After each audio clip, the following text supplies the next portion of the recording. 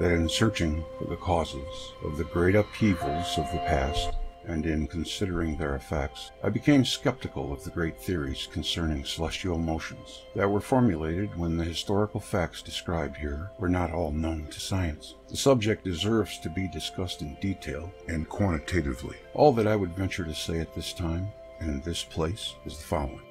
The accepted celestial mechanics notwithstanding the many calculations that have been carried out to many decimal places, or verified by celestial motions, stands only if the sun, the source of light and warmth, and other radiation produced by fusion and fission of atoms is as a whole an electrical neutral body, and also if the planets in their usual orbits are neutral bodies, fundamental principles in celestial mechanics, including the law of gravitation, must come into question if the sun possesses a charge sufficient to influence the planets in their gravitation in their orbits or comets in theirs. In the Newtonian celestial mechanics, based on the theory of gravitation, electricity and magnetism play no role. Immanuel Velikovsky, New York, 1950.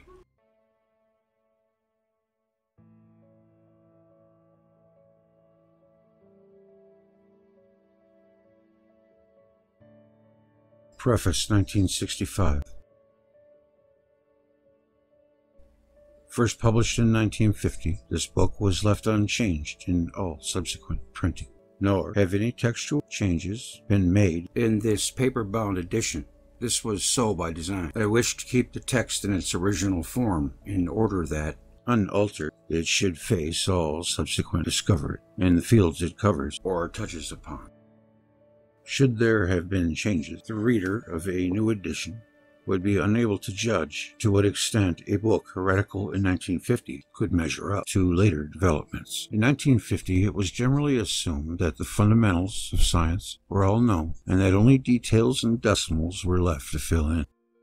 In that same year, a cosmologist, certainly not of a conservative bent of mind, Fred Hoyle, wrote in the conclusion of his book, The Nature of the Universe, It is likely that any astonishing new developments are lying in wait for us. It is possible that cosmology of 500 years hence will extend as far beyond our present beliefs as our cosmology goes beyond that of Newton.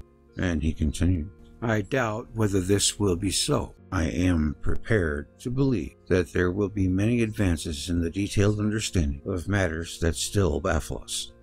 But by and large, I think that our present picture will turn out to bear an approximate resemblance to the cosmologies of the future, and he referred to the limitations of optical means in penetrating the depth of space. The years that have passed since the publication of Worlds in Collision have seen the first great achievements in radio astronomy, the discoveries of the International Geophysical Year, and the dawn of the space age. The picture has changed completely.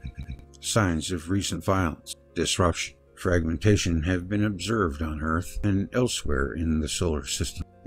A submarine gigantic canyon that runs almost twice around the globe, a sign of global twist, a layer of ash of extraterrestrial origin underlying all oceans. Paleomagnetic evidence that the magnetic poles were suddenly, repeatedly reversed, and it is claimed the terrestrial axis with them. Gases escaping on some craters on the moon thought to be cold to its center,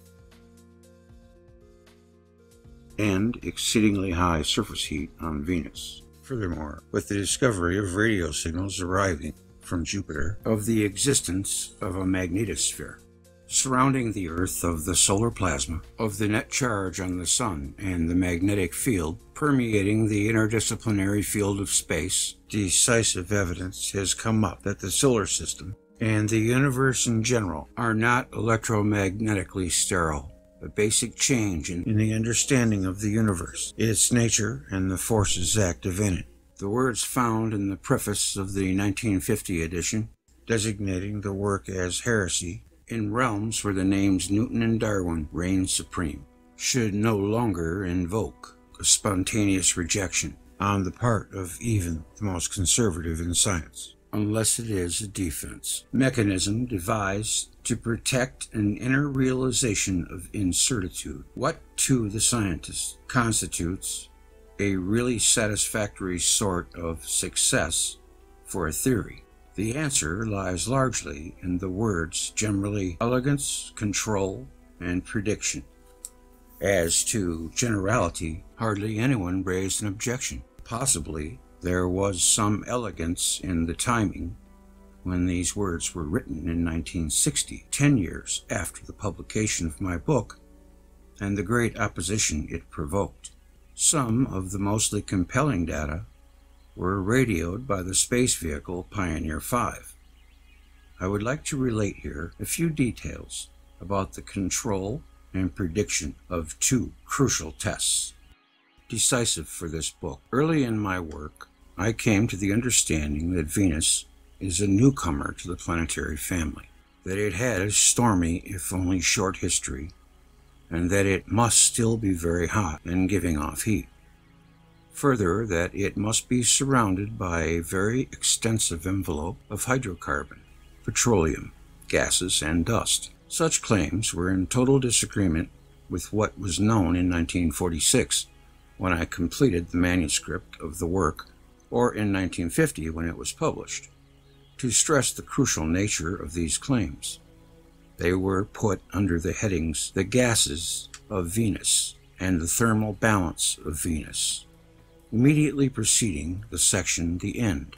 Should I be right in these claims, the entire chain of deductions, of which identification of the extraterrestrial agent of the paroxysm described is but the final ring, is strengthened. And since these crucial claims were in flagrant discord with the accepted values, in case of confirmation, they ought not to be denoted as lucky guesses. As late as 1959, Venus, ground temperature, was calculated to be only 17 degrees Celsius, 3 degrees above the mean annual temperature of the Earth. But by 1961, from the nature of the radio signals emitted by Venus, it was found that Venus, ground temperature, is about 315 degrees Celsius, or 600 degrees Fahrenheit.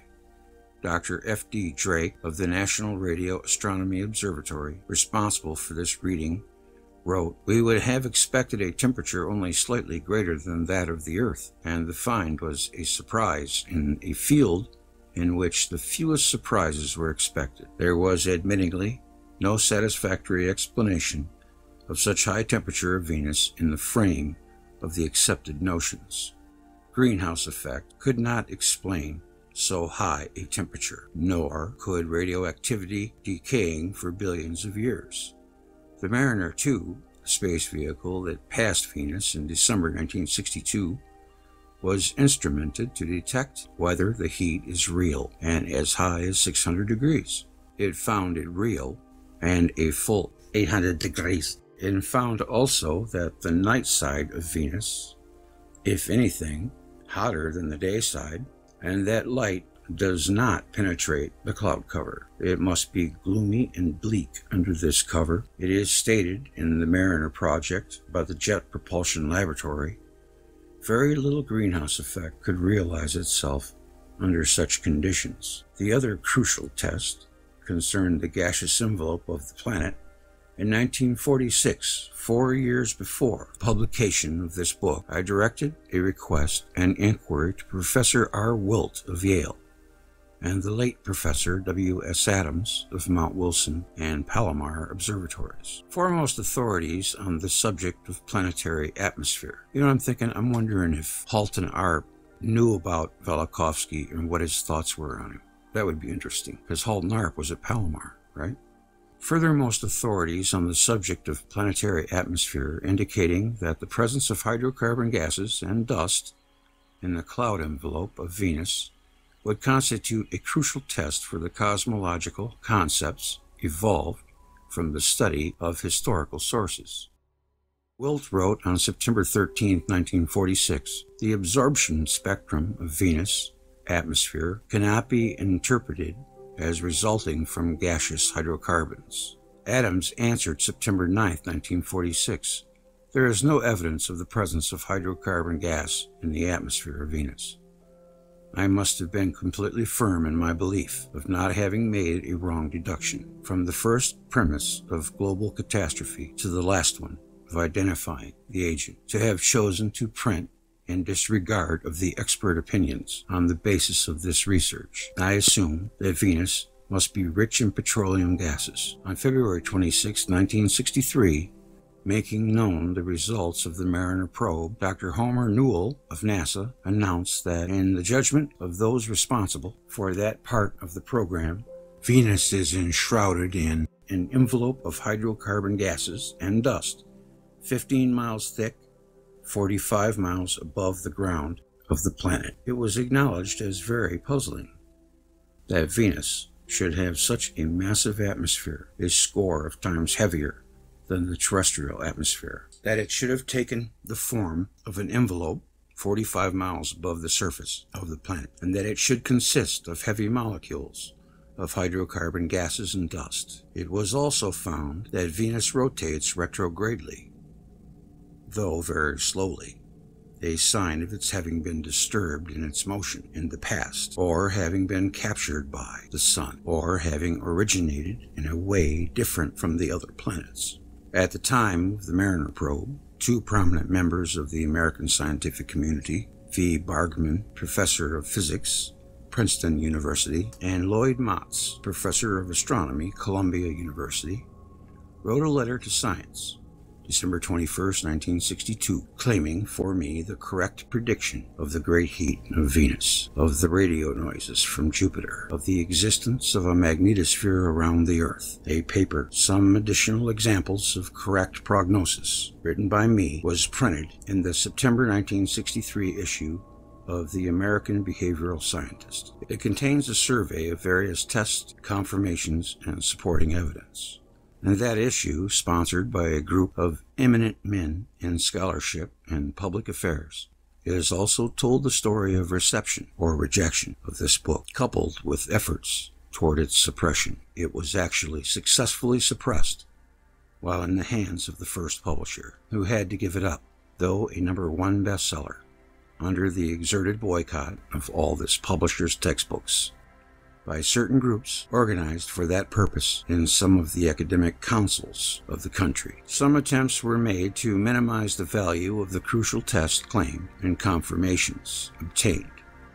A prominent astronomer wrote in December 1963 issue of Harper's As to the high temperature of Venus, hot is only a relative term. For example, liquid air is hot relative to liquid helium, whereas I claimed an incandescent state of Venus and a gaseous state of all hydrocarbons. Professor H. H. Hess, huh, chairman of the Space Board of the National Academy of Sciences, volunteered to write me a letter for publication. Some of these predictions were said to be impossible when you made them. All of them were predicted long before proof that they were correct came to hand.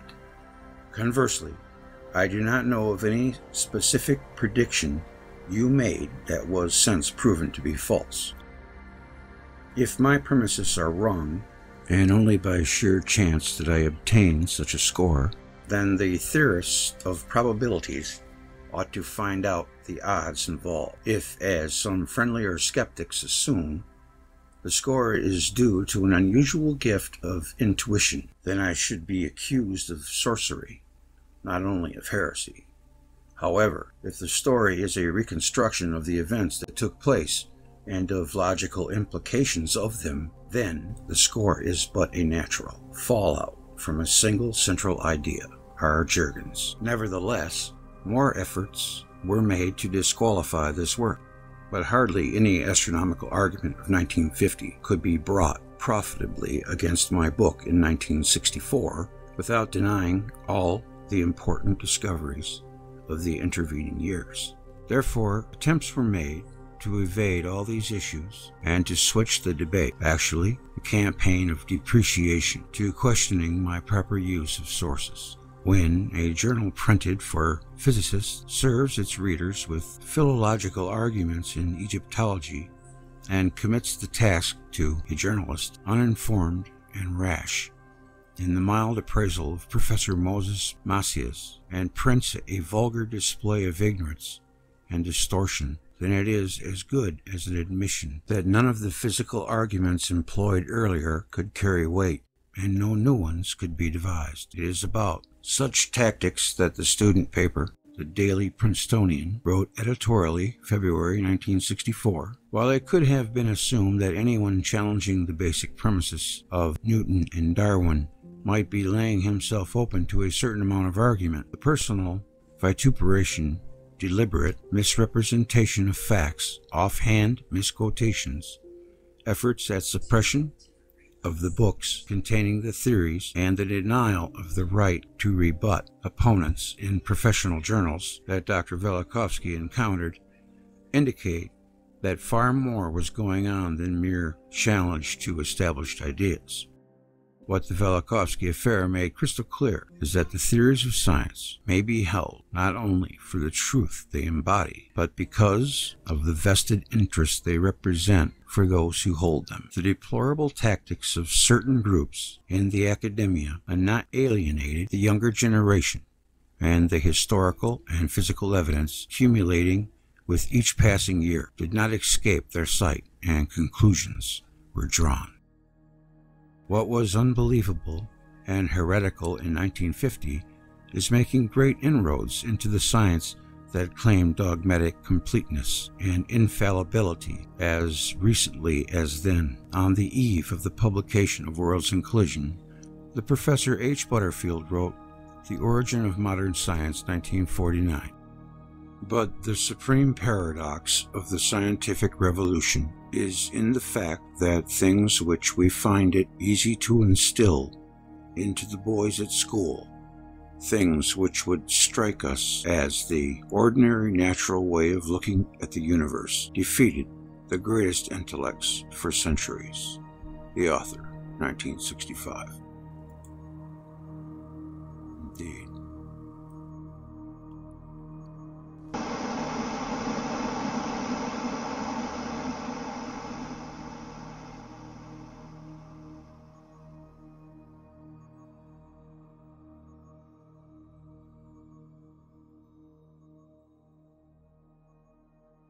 Preface 1950 Worlds in Collision is a book of wars in the celestial sphere that took place in historical time. In these wars, the planet Earth participated too. This book describes two acts of a great drama. One that occurred 34 to 35 centuries ago, in the middle of the second millennium before the present era the other in the 8th and beginning of the 7th century, before the present era.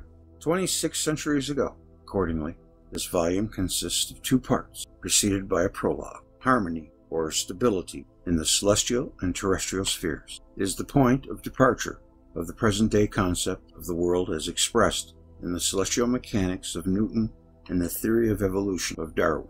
If these two men of science are sacrosanct, this book is a heresy. However, modern physics of atoms and of the quantum theory describes dramatic changes in the microcosm, the atom, the prototype of the solar system. A theory, then, that envisages not dissimilar events in the macrocosm. The solar system brings the modern concepts of physics to the celestial sphere. This book is written for the instructed and uninstructed alike. No formula, no hieroglyphic, will stand in the way of those who set out to read it. If occasionally historical evidence does not square with formulated laws, it should be remembered that a law is but a deduction from experience, and experiment, and therefore laws must conform with historical facts, not the facts with laws. The reader is not asked to accept a theory without question. Rather, he is invited to consider for himself whether he is reading a book of fiction or nonfiction whether he is reading is invention or historical fact. On one point alone, not necessarily decisive for the theory of cosmic catastrophism, I borrow credence. I use a synchronical scale of Egyptian and Hebrew histories, which is not orthodox. It was in the spring of 1940 that I came upon the idea that in the days of the Exodus, as evident from many passages of the Scriptures, there occurred a great physical catastrophe, and that such an event could serve in determining the time of the Exodus in Egyptian history or in establishing a synchronical scale for the histories of the peoples concerned. Thus, I started Ages in Chaos, a reconstruction of the history of the ancient world from the middle of the second millennium, before the present era, to the advent of Alexander the Great. Already, in the fall of that same year, 1940, I felt that I had acquired an understanding of the real nature and extent of the catastrophe. And for nine years I worked on both projects, the political and natural histories. Although Ages in Chaos was finished first in the order of publication, it will follow this work. Worlds in Collision comprises only the last two acts of the cosmic drama. A few earlier acts, one of them known as the Deluge, will be the subject of another volume of natural history. The historical cosmological story of this book is based on the evidence of historical texts of many peoples around the globe, on classical literature, on epics of northern races, on sacred books of the peoples of the Orient and Occident, on traditions and folklore of primitive peoples, on old astronomical inscriptions and charts, on archaeological finds, and also on geological and paleontological material. If cosmic upheavals occurred in the historical past, why does not the human race remember them? And why was it necessary to carry on research to find out about them? I discuss this problem in the section Collective Amnesia.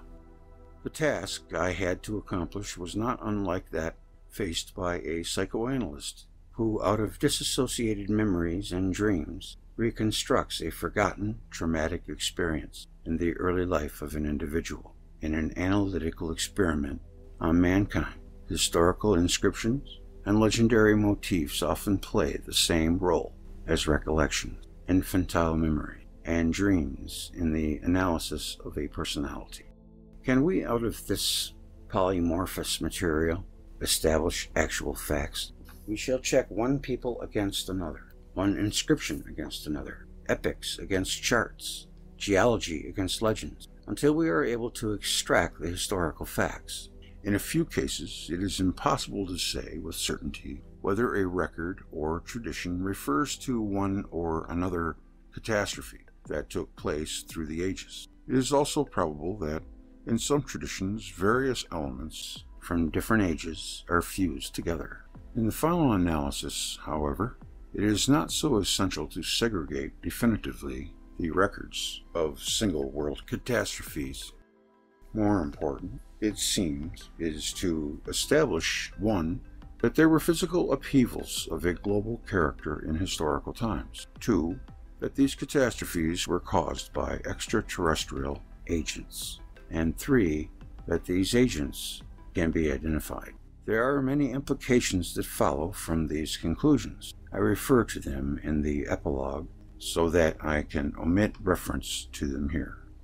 A few readers went over this book in manuscript and made valuable suggestions and remarks in chronological order. Of their reading, they are Dr. Horace M. Kallen, formerly Dean of Graduate Faculty of the New School for Social Research, New York, John J. O'Neill, Science Editor of the New York Herald Tribune, James Putnam, associate editor of the Macmillan Company, Clifton Fadiman, literary critic and commenter, Gordon A. Atwater, chairman and curator of the Hayden Planetarium and the American Museum of Natural History, New York. The last two read the work at their own request after Mr. O'Neill had discussed it in an article in the Herald Tribune of August 11th, 1946. I am indebted to all of them, but I alone am responsible for content and form. Miss Marion Coon cleared the manuscript of grammatical weeds and helped in reading the proofs. Many an author has dedicated his book to his wife, or mentioned her in the preface. I've always felt this was somewhat ostentatious, but now that this work is being published, I feel I shall be most ungrateful if I fail to mention that my wife, Elisheva, spent almost as much time on at our desk as I did. I dedicate this book to her. The years when ages in chaos and worlds in collision were written were years of a world catastrophe created by man. The years when ages in chaos and worlds in collision were written were years of a world catastrophe created by man, of war that was fought on land, on sea, and in the air. During the time, man learned how to take apart a few of the bricks of which the universe is built, the atoms of uranium. If one day he should solve the problem of fission and fusion of the atoms of which the crust of the earth or the water or air are composed, he may by chance, by initiating a chain reaction, take this planet out of the struggle for survival among the members of the celestial sphere. New York, September 1949. The author, the author, the author, the author, the author, the author.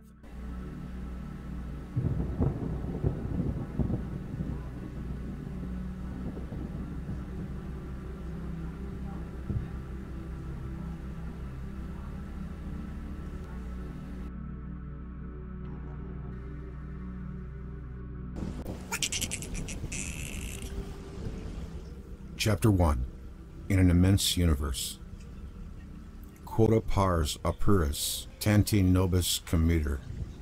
Seneca. In an immense universe, a little globe revolves around a star. It is the third star in a row. Mercury, Venus, Earth, of the planetary family. It is of a solid core covered over most of its surface with liquid. It has a gaseous envelope. Living creatures fill the liquid. Other living creatures fly in the gas, and still others creep and walk upon the ground on the bottom of the gaseous ocean. Man, a being of erect stature, thinks himself the prince of creation. He felt like this long before he, by his own efforts, came to know how to fly on wings of metal around the globe. He felt godlike before he could talk to his fellow man on the other side of the globe. Today, he can see the microcosm in a drop of water, and the elements in the stars. He knows the laws governing the living cell and its chromosomes, and the laws governing the macrocosm of the sun, moon, planets, and stars. He assumes that gravitation keeps the planetary system together. Man and beast on their planet, the sea within its borders. For millions and millions of years, he maintains, the planets have rolled along on the same paths, and their moons around them, and man, in these eons, has arisen from a one cell infusorian all the long way up the ladder to his status of Homo sapien. Is man's knowledge now nearly complete? Are only a few more steps necessary to conquer the universe? To extract the energy of the atom? Since these pages were written, this has already been done. To cure cancer, to control genetics, to communicate with other planets, and learn if they have living creatures too. Here begins Homo ignoramus. He does not know what life is, or how it became to be, whether it originated from inorganic matter. He does not know whether other planets of this sun or of other suns have life on them, whether the forms of life there are like those around us, ourselves included. He does not know how this solar system came into being, although he has built up a few hypotheses around it. He knows only that the solar system was constructed billions of years ago. He does not know what this mysterious force of gravitation is that holds him and his fellow man on the other side of the planet, with their feet on the ground. Although he regards the phenomenon itself as the law of laws, he does not know what the earth looks like five miles under his feet. He does not know how mountains came into existence, or what caused the emergence of the continents, although he builds hypotheses around these nor does he know from where oil came. Again, hypotheses. He does not know why, only a short time ago, a thick glacial sheet pressed upon most of Europe and North America, as he believes it did, nor how palms could grow above the polar circle, nor how it came about that the same fauna fill the inner lakes of the old and the new world. He does not know where the salt in the sea came from. Although man knows that he has lived on this planet for millions of years, he finds a recorded history of only a few thousand years, and even these few thousand years are not sufficiently well known. Why did the Bronze Age precede the Iron Age, even though iron is more widely distributed over the world, and its manufacture is simpler than that of the alloy of copper and tin? But what mechanical means were structures of immense blocks built on high mountains of the Andes. Kind of, it is a mystery. Why did brass come before iron if iron is so much easier to make and stronger? What caused the legend of the flood to originate in all countries of the world? Is there any adequate meaning to the term antediluvian? From what experiences grew the eschatological pictures of the end of the world. In this work, of which the present book is the first, of these questions will be answered, but only at the cost of giving up certain notions now regarded as sacred laws in science. The millions of years of the present constitution of the solar system and the harmonious revolution of the Earth, with all their implication as regards to the theory of evolution.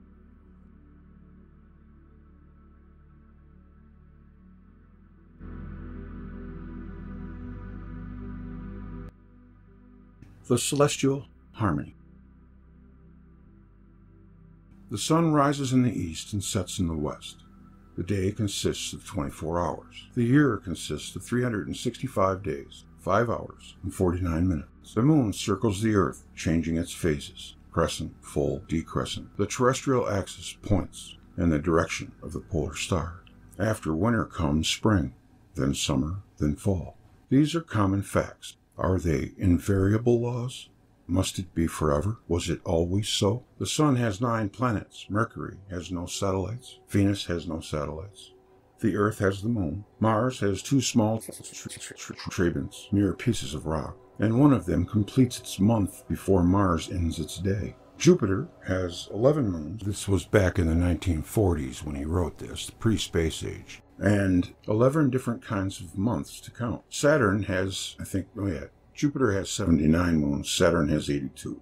That's the last current. Uranus has yeah, five moons here. That's what, that was what was known by science at the time. I'll just leave it at that. Neptune one, Pluto none. The sun rotates in an easterly direction. All planets revolve in their orbits in the same direction, counterclockwise if seen from the north, around the sun. Most of their moons revolve counterclockwise in direct motion but there are a few that revolve in the opposite direction, in retrograde motion. No orbit is an exact circle. There is no regularity to the eccentrical shapes of the planetary orbits. Each elliptical curve verges in a different direction. It is not known for certain, but it is assumed that Mercury permanently shows the same face to the Sun, as our moon does with respect to the Earth. Information obtained by different methods of observation of Venus is contradictory. It is not known whether Venus rotates so slowly that its day equals its year, or so rapidly that the night side is never sufficiently cooled. Mars rotates in 24 hours, 37 minutes, 22.6 sec mean period, a period comparable to the terrestrial day. Jupiter, which in volume is 1300 times larger than the Earth, completes a rotation in the short space of 9 hours and 50 minutes. It's spinning. What causes this variability? Is it not a law that planets should rotate or have days and nights? Still less that its day and night must return every 24 hours. If Pluto rotates from east to west, it has the sun rising in the west. Uranus has the sun rising and setting neither in the east nor the west, so it is not a law that a planet of a solar system must rotate from west to east, and that the sun must rise in the east. The equator of the Earth is inclined to the plane of its ecliptic at an angle of 23 and a half degrees. This causes the change of seasons during the annual revolution of the Sun. The axes of the other planets point in other directions, of seemingly deliberate choice. It is not a general law for all planets that winter must follow fall and summer the spring. The axis of Uranus is placed almost in the plane of its orbit. For about 20 years, one of its polar regions is the hottest place on the planet. Then night gradually descends, and 20 years later, the other pole enters the tropics for an equal length of time. The moon has no atmosphere. It is not known whether Mercury has any atmosphere. Venus is covered with dense clouds, but not of water vapor. Mars has a transparent atmosphere, but almost without oxygen or water vapor. Its composition is unknown. Jupiter and Saturn have gaseous envelopes. It is not known whether they have solid cores. It is not a general law that a planet have an atmosphere or water. Mars is 0.15 the volume of the Earth. The next planet, Jupiter, is about 8,750 times as large as Mars. There is no regularity of or relation between the size of the planets and their position in the system. On Mars are seen canals and polar caps. On the moon, craters. The earth has reflecting oceans. Venus has brilliant clouds. Jupiter has belts and a red spot. Saturn has rings. The celestial harmony is composed of bodies different in size, different in form, different in the velocity of rotation, with differently directed axis of rotation, with different directions of rotation, with differently composed atmospheres, or without atmospheres, with a varying number of moons or without moons, and with satellites revolving in either direction. It appears then to be by chance that the Earth has a moon, that we have day and night, and that their combined length is equal to 24 hours.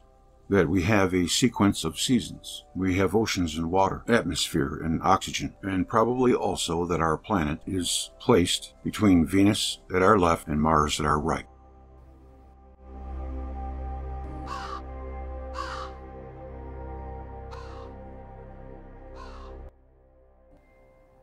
The origin of the planetary system. All theories of the origin of the planetary system and the motive forces that sustain the motion of its members go back to the gravitational theory and the celestial mechanics of Newton. The sun attracts the planets, and if it were not for a second urge, they would fall into the sun. But each planet is impelled by its momentum to proceed in a direction away from the sun, and as a result, an orbit is formed. Similarly, a satellite or a moon is subject to an urge that drives it away from its primary. But the attraction of the primary bends the path on which the satellite would have proceeded if there had been no primary, if there had been no attraction between the bodies. And out of these urges, the satellite's orbit is traced. The inertia or persistence of motion implanted in planets and satellites was postulated by Newton, but he did not explain how or when the initial pull or push occurred. The theory of the origin of planetary system, which dominated the entire 19th century, was proposed by Swedenborg, the theologian, and Kant, the philosopher. It was put into scientific terms by Laplace, although not explored by him quantitatively, and in brief is as follows. Hundreds of millions of years ago, the Sun was nebulous and very large, and had a form approaching that of a disk. This disk was as wide as the whole orbit of the furthest of the planets. It rotated around its center, owing to the process of compression caused by gravitation. A globular sun, globular sun shaped itself in the center of the disk. Because of the rotating motion of the whole nebula, a centrifugal force was in action parts of matter, more on the periphery, resisted the attracting action directed toward the center and broke up into rings, which balled into globes. These were planets in the process of shaping. In other words, as a result of the shrinkage of the rotating sun, matter broke away and portions of this solar material developed into planets. The plane in which the planets revolve is the equatorial plane of the sun. This theory is now regarded as unsatisfactory.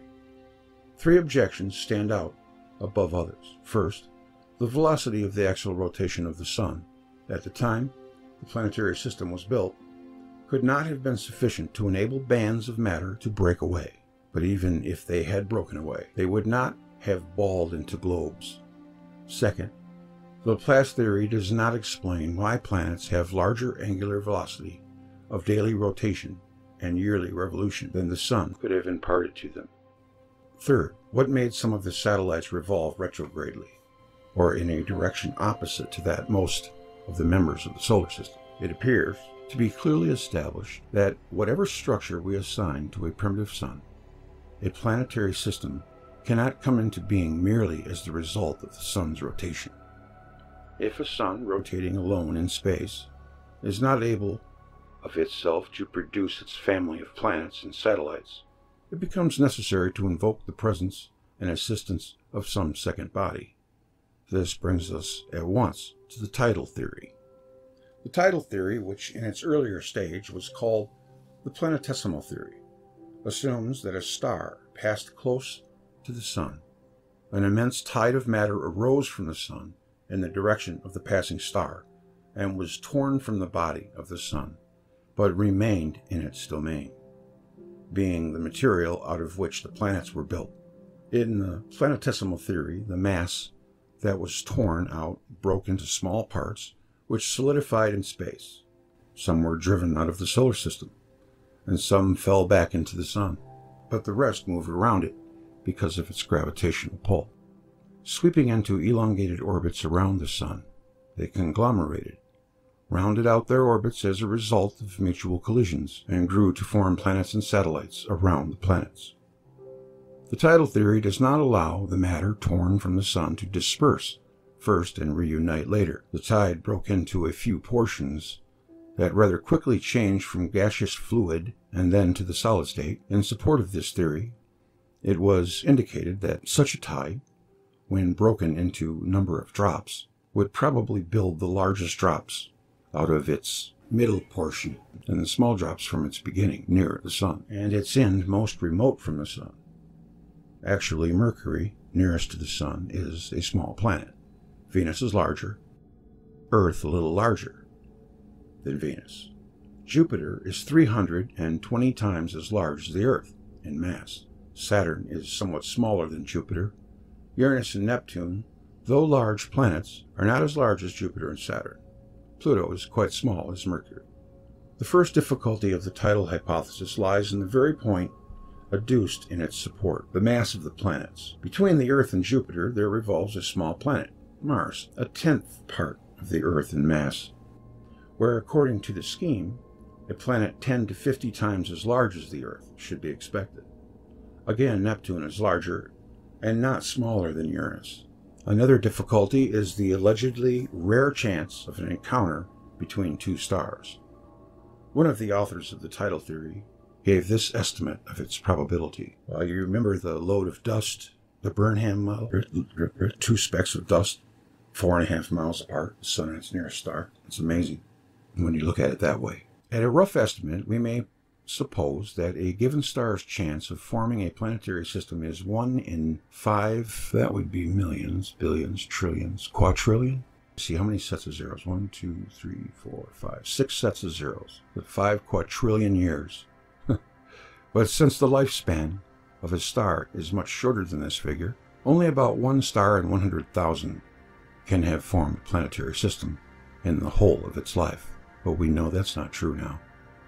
In the galactic system of 100 million stars, planetary systems form at a rate of about 1 per 5 billion. Our own system, with the age of the order of 2 billion years, is probably the youngest system in the whole galactic system of stars. The nebular and tidal theories alike regard the planets as derivatives of the Sun, and the satellites as derivatives of the planets.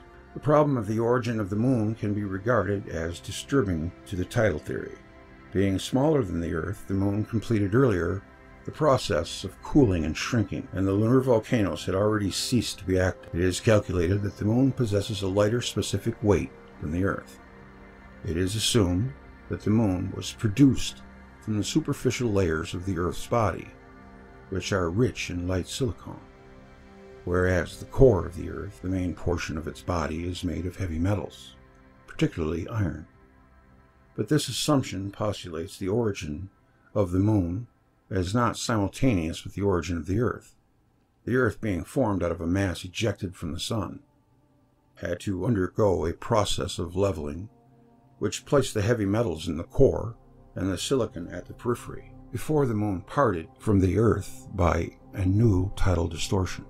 This would mean two consecutive tidal distortions in a system, the chance of even one is held extremely rare. If the passing of one star near another happens among 100 million stars once in 5 billion years, two occurrences like this for one and the same star seem quite incredible. Therefore, there's no better explanation is available, the satellites are supposed to have been torn from the planets by the sun's attraction on their first perihelion passage. When sweeping along on stretched orbits, the planets came close to the sun. The circling of satellites around the planet also confronts existing cosmological theories with difficulties. Laplace built his theory on the origin of the solar system, on the assumption that all planets and satellites revolve in the same direction. He wrote that the axial rotation of the Sun and the orbital revolutions and axial rotations of the six planets, the Moon, the satellites, and the rings of Saturn present 43 movements, all in the same direction. One finds by the analysis of the probabilities that there are more than 4,000 billion chances to one that this arrangement is not the result of chance. This probability is considered higher than that of the reality of historical events, with regard to which no one would venture a doubt. He deduced that a common and primal cause directed the movements of the planets and satellites. Since the time of Laplace, no members of the solar system have been discovered. Now we know that though the majority of the satellites revolve in the same direction as the planets revolve, and the sun rotates, the moons of Uranus revolve in a plane almost perpendicular to the orbital plane of their planet, and three of the eleven moons of Jupiter one of the nine moons of Saturn and one moon of Neptune revolve retrogradely. These facts contradict the main argument of the Laplace theory. A rotating nebula could not produce satellites revolving in two directions. The tidal theory. In the tidal theory, the direction of the planets' movement depend on the star that passed. It passed in a plane of which the planets now revolve, and in a direction which determined their circling from west to east. But why should the satellites of Uranus revolve perpendicularly to that plane and some moons of Jupiter and Saturn in reverse directions? This, the tidal theory fails to explain. Birkeland currents. According to all existing theories, the angular velocity of the revolution of a satellite must be slower than the velocity of rotation of its parent but the inner satellite of Mars revolves more rapidly than Mars rotates. Some of the difficulties that confront the nebular and tidal theories also confront another theory that has been proposed in recent years. According to it, the Sun is supposed to have been a member of a double star system. A passing star crushed the companion of the Sun, and out of its debris planets were formed. In further development of this hypothesis, it is maintained that the larger planets were built out of the debris, and the smaller ones, the so called terrestrial planets, were formed from the larger ones by a process of cleavage. The birth of smaller solid planets out of the larger gaseous ones is conjectured in order to explain the difference in the relation of weight to the volume in the larger and smaller planets but this theory is unable to explain the difference in the specific weights of the smaller planets and their satellites. By a process of cleavage, the moon was born of the earth. But since the specific weight of the moon is greater than that of the larger planets and smaller than that of the earth, it would seem to be more in accord with the theory that the earth was born of the moon, despite its smallness. This confuses the argument. The origin of the planets and their satellites remains unsolved. The theories not only contradict one another, but each of them bears within itself its own contradictions. If the Sun had been unattended by planets, its origin and evolution would have presented no difficulties.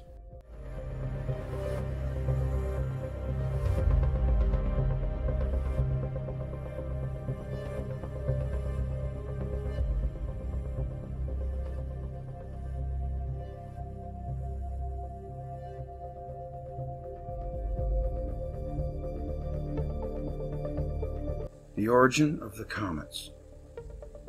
The nebular and tidal theories endeavor to explain the origin of the solar system, but do not include the comets in their schemes. Comets are more numerous than planets. More than 60 comets are known to belong definitely to the solar system. These are the comets of short periods less than 80 years. They revolve in stretched ellipses, and all but one do not go beyond the line marked by the orbit of Neptune. It is estimated that besides the comets of short periods, several hundred thousand comets visit the solar system. However, it is not known for certain that they return periodically. They are seen presently at an approximate rate of 500 in a century and are said to have an average period of tens of thousands of years. A few theories of the origin of comets have been proposed, but aside from one attempt to see in them planetesimals that did not receive a side pole, sufficiently strong to bring them into circular orbits. No scheme has been developed that explains the origin of the solar system in its entirety, with its planets and comets, yet no cosmic theory can persist which limits itself to the problem of either planets or comets exclusively. One theory sees in the comets errant cosmic bodies arriving from interstellar space. After approaching the Sun, they turn away on an open parabolic curve. But if they happen to pass close to the to one of the larger planets, they may be compelled to change their open curves to ellipses and become comets of short period. This is the theory of capture. Comets of long periods, or of no period, are dislodged from their paths to become short period comets. What the origin of the long period comets is uh, remains an unanswered question. The short period comets apparently have some relation to the larger planets. About 50 comets move between the Sun and the orbit of Jupiter. Their periods are under nine years. Four comets reach the orbit of Saturn. Two comets revolve inside the circle described by Uranus and nine comets, with an average period of 71 years, move within the orbit of Neptune. These comprise the system of the short period comets, as it is known at present. To the last group belongs Halley's Comet, which, among the comets of short periods, has the longest period of revolution, about 76 years. Then there is a great gap after which there are comets that require thousands of years before they return to the Sun, if they return at all. The distribution of the short period comets suggested the idea that they were captured by the large planets. This theory has for its support the direct observation that comets are disturbed on their path by planets. Another theory of comets supposes their origin to have been in the Sun, but in a manner unlike that conceived of in the tidal theory of the origin of planets. Mighty whirls on the surface of the Sun sweep ignited gases into great protuberances. These are observed daily. Matter is driven off from the Sun and returns to the Sun. It is calculated that if the velocity of the ejection were to exceed 384 miles per second, the speed of motion in a parabola, the matter would not return to the Sun, but would become a long range comet. Then the path of the ejected mass might become perturbed as a result of its passage near one of the larger planets, and the comet would become one of a short period. Birth of a comet in this manner has never been observed, and the probability that matter in explosion may reach a speed of 384 miles per second is highly questionable. It was therefore supposed, alternatively, that millions of years ago, when the activity of their gaseous masses was more dynamic, the large planets expelled comets from their bodies. The speed required for the ejected mass to overcome the gravitational pull of the ejecting body is less in the case of the planets than in the case of the Sun, owing to their being smaller. Gravitational pull, it is calculated that a mass hurled from Jupiter at a speed of about 38 miles per second, or at only a little more than a third of this velocity in the case of Neptune, would become expelled. This variant of the theory neglects the question of the origin of the long period comets. However, explanation was offered, according to which the large planets throw the comets that pass close to them from their short orbits into elongated ones, or even expel them entirely from the solar system. When passing close to the Sun, comets emit tails. It is assumed that the material of the tail does not return to the comet's head, but is dispersed in space. Consequently, the comets as luminous bodies must have a limited life. If Halley's Comet, or Halley's Comet, whichever you prefer, has pursued its present orbit since Precambrian times, it must have grown and lost 8 million tails. That's a long time, which seems improbable. If comets are wasted, their number in the solar system must permanently diminish, and no comet of short period could have preserved its tail since geological times. But as there are many luminous comets of short period, they must have been produced or acquired at some time when other members of the system, the planets and the satellites, were already in their places. A theory has been offered that once the solar system moved through a nebula and obtained its comets there, but that's just a surmise that could never be proven or disproven. Did the sun emit planets by shrinkage, or by tide, or in comets by explosion? Did the comets come from interstellar space? And were they captured into the solar system by larger planets? Did the larger planets produce the smaller planets by cleavage? Or did they expel the short period comets from their bodies? It is admitted that we cannot know the truth about the origin of the planetary and cometary systems billions of years ago. The problem of the origin and development of the solar system suffers from the label speculative. It is frequently said that as we were not there when the system was formed, we cannot legitimately arrive at any idea of how it was formed. The most we can do, it is believed, is to investigate one planet, the one under our feet, in order to learn its past, and then, by the deductive method, to apply results to other members of the solar system. End of chapter. I think that the comets, many of them could have been caused by the dynamic electric situation that existed when the planets were closer together. That's just what I think. Thanks for listening.